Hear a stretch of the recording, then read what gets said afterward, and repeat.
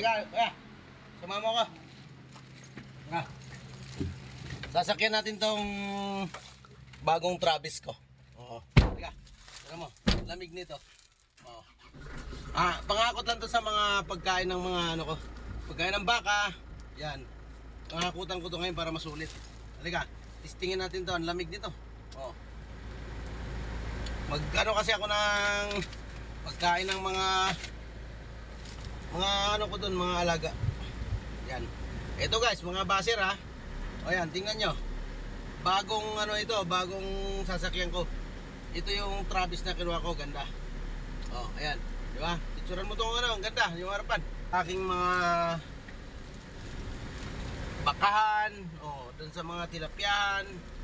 Yan, papunta kami ngayon doon. Sarap. Lamig, lamig, lamig. O, di ba? Bago yung aming Travis. Ayan. Ayan, ayan mga ayun yung tropa natin, oh. O, di ba? Masarap yung ating sasakyan. Wala kasi kayo. Wala kasi kayo sinabi sa akin. Puro lang kasi kayo dak dak dak dak. Lang, ayusin ko lang yung aircon namin. Parang parang nawala sa lamig ah, sa may east. Teka na eh. Hindi naman nak- nakalo pala yung ano eh. O, ayan. O, malamig yan. Hmm. Yan. Yan guys, samahan nyo kami. Pupunta kami ngayon sa aming farm. O. Kakatay tayo uli ng ano dun, baka. O ano, parang may piyesta ron araw-araw. Dami ko tawan eh. O. Yan. Wala kasi kayo. Puro lang kasi kayo comment-comment eh. Walang wala naman, wala, walang wala din naman kayo. Ano kayo ngayon? Oh, nahulaan nyo, nasa na naman kami ngayon. Kahapon nasa ano kami sa lupain ko. Ngayon, iba na naman to, pupuntahan namin. Mamimili kami ng mga pagkain ng mga alaga namin. Oh, di ba? Ganun talaga, guys wala tayong magagawa sa buhay natin kung marami tayong sasakyan. O, ayan.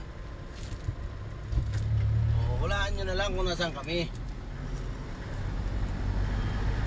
Diba? Sabi ko sa inyo guys, eh, ang ganda nito eh. O. Na. Aircon pa lang, panalong panalo na. I- ito yung ano nang pagka ano nang ano mahakutan ng manok ko. Mm. Isuzu Travis. Madalang ko lang nagagamit to. Oh, suwabe. Oh, ha? Ganun lang guys, chill-chill lang ang buhay. Huwag niyo siseryosuhin kasi buhay niyo.